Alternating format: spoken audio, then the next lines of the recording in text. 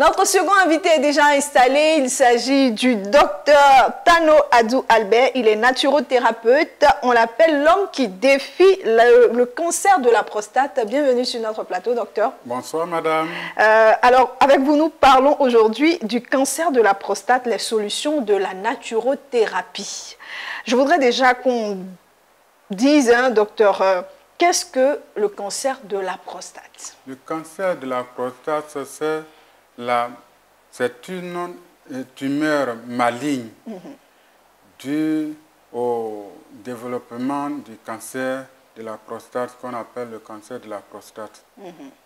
Maintenant, elle se développe à travers les cellules, du cancer, euh, les cellules de la prostate. C'est cela qu'on appelle le cancer de la prostate.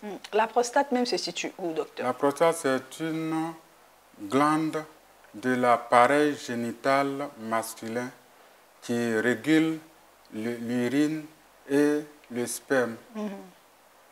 Et c'est comme le robinet, c'est comme le robinet euh, la tête du robinet qui permet de faire passer l'urine euh, sans problème. Maintenant, quand il prend de l'âge, c'est ça, il se développe.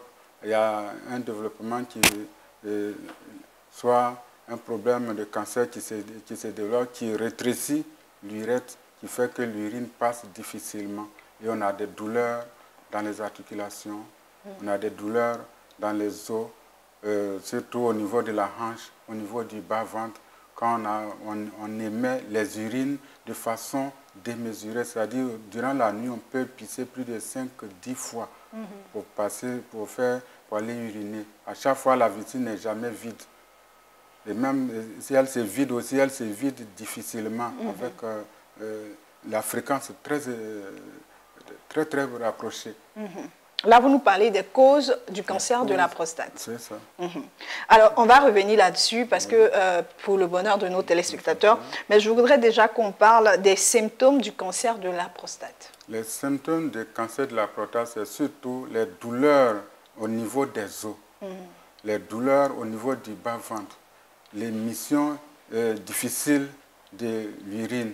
C'est-à-dire on a envie d'uriner, mais quand on s'arrête, l'urine refuse de venir. Mm. Il prend son temps pour venir à contre-goutte un peu, un peu. Et ça sort difficilement, ça ne sort pas par jet. Mm-hmm. Ou bien ça sort par, en, désordre comme un arrosoir qui, euh, qui, est en train d'arroser les fleurs. Mm. Et en, ou bien ça bloque carrément on veut euh, uriner, l'urine refuse de venir. On est obligé de mettre la sonde pour faire passer l'urine. C'est que c'est arrivé à un, stade vraiment euh, grave qu'il faut faire euh, quelque chose rapidement. Sinon, si on ne met pas la sonde, ça peut détruire, ça peut tuer la personne. Mhm. Parce que ça va faire retourner l'urine au niveau des reins, déranger les organes vitaux.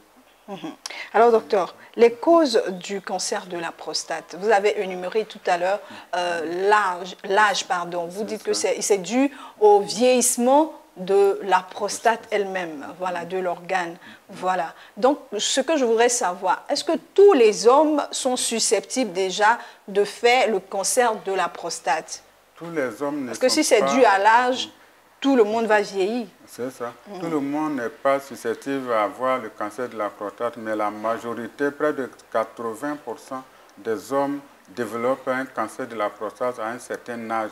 Mais surtout ceux qui ont les parents qui ont, vécu, qui ont eu cette maladie, qui ont eu le cancer de la prostate, Donc c'est héréditaire. Qui sont morts de, cette maladie, c'est une mm-hmm. maladie héréditaire. Mm-hmm. Et là, ceux, ceux qui ont leurs parents qui sont morts de cette maladie, après 50 ans, 60 ans, nos cas faire soit la prévention ou bien le traitement, sinon ils vont avoir cette maladie à tous les coups.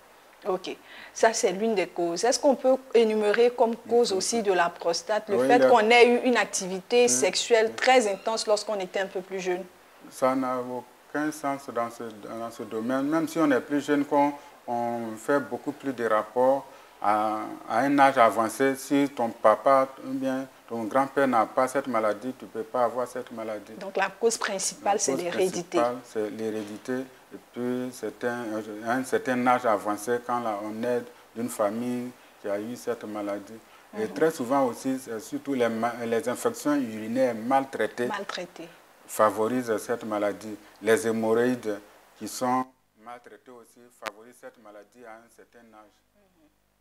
Très bien. Alors, intéressons-nous maintenant, docteur, au, au traitement du cancer de la prostate. Déjà, est-ce que le cancer de la prostate tue?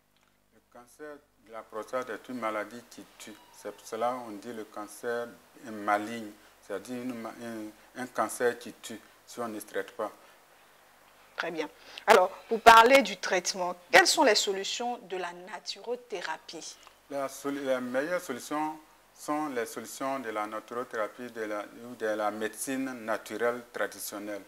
Elle ne fait que euh, boire les médicaments et faire euh, souvent, euh, boire simplement. Chez nous, on ne fait que boire les médicaments et souvent faire des suppositoires qui permettent de neutraliser, de faire fondre la prostate pour qu'elle soit évacuée pour éviter les opérations. Sinon, l'hôpital, c'est l'opération, seulement la chirurgie qu'ils savent faire.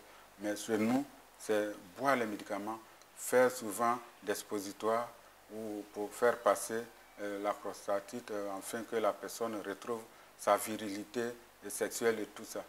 Parce que cette maladie, une fois que tu l'as, sexuellement, tu ne réponds, à- tu ne réponds plus. Parce que tu- à chaque fois, tu ne fais qu'aller pisser, tu n'as plus de force pour pouvoir satisfaire ta partenaire.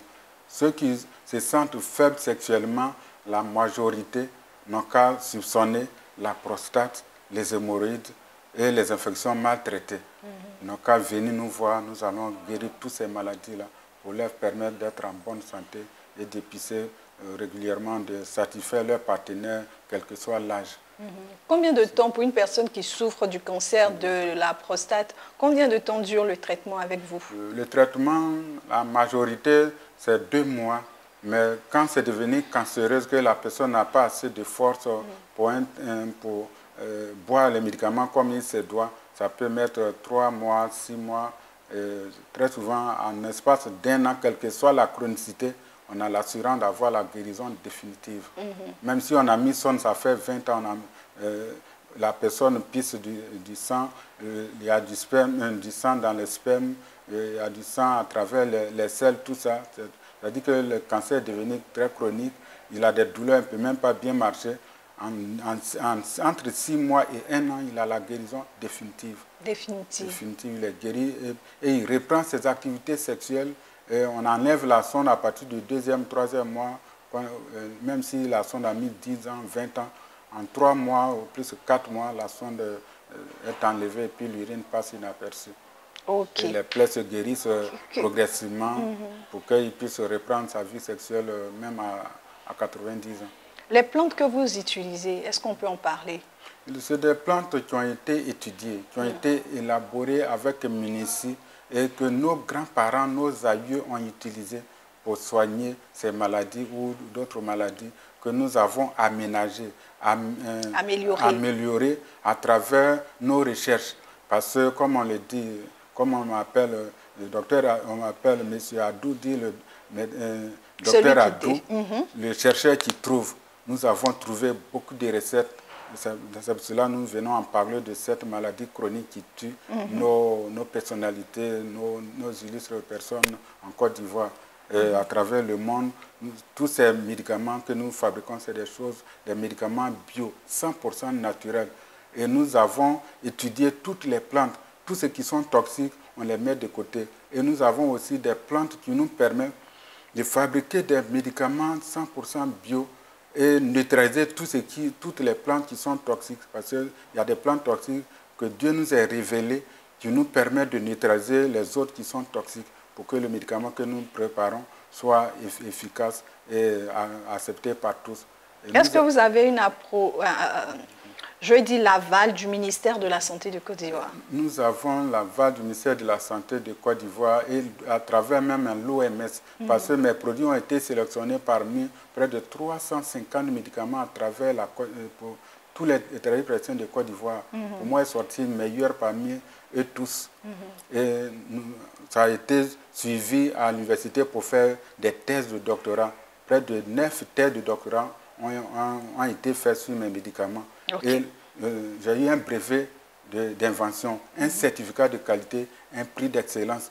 Et mes produits répondent aux, normes. des produits pharmaceutiques internationaux. Le dosage, est, inscrit, sur chaque médicament. Sur chaque médicament. Et depuis 38 ans que je prends pour guérir des malades, avant même la mort du fouet, euh, je, fabriquais, je, fabriquais, ces médicaments pour guérir les malades. La mort du premier président de la République de, Côte d'Ivoire en 1993. C'est ça. Mhm. Je guérissais les prostatites, mais euh, ces personnalités, on n'a pas la chance de les approcher pour qu'ils essaient nos médicaments. Je leur dis, si eux-mêmes n'ont pas le courage de venir, ils n'ont qu'à envoyer certains de leurs connaissances, leurs chauffeurs, leurs boys, pour qu'ils viennent payer pour aller les guérir. Mhm. ou vous-même même vous appelez directement pour que vous, vous, déplaciez.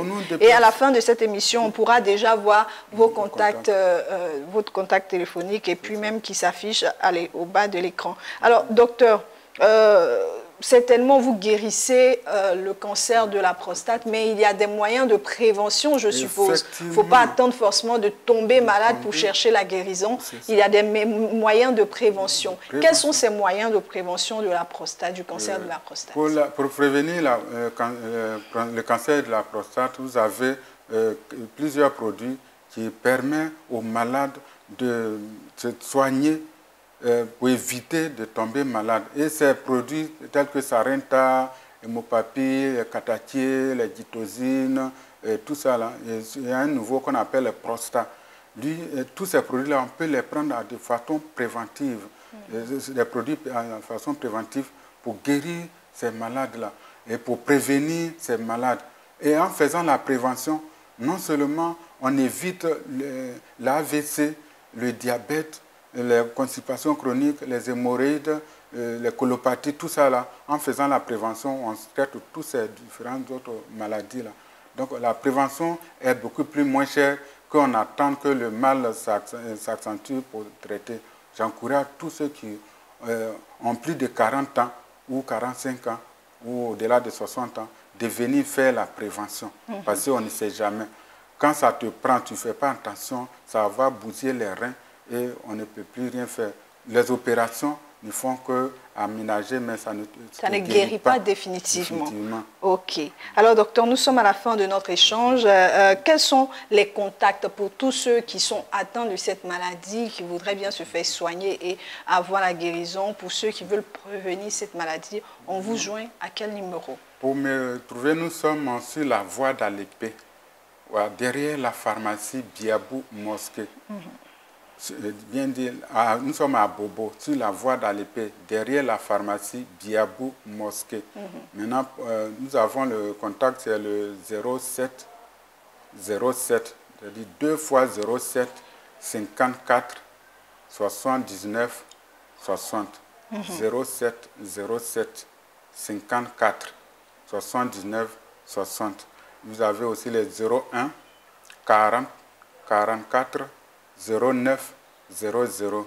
Mais ma ligne privée, c'est le 05. Ligne privée, c'est 05 01 94 77 13 05 01 94 77 13. Merci beaucoup, docteur Tano Adou Albert. Je rappelle que vous êtes naturothérapeute et que avec vous, nous avons parlé aujourd'hui du cancer de la prostate, les solutions de la naturothérapie. Voilà, nous sommes déjà à la fin de cette émission, ou du moins presque à la fin de cette émission. Nous allons pour la troisième rubrique qui est la question aux praticiens aujourd'hui.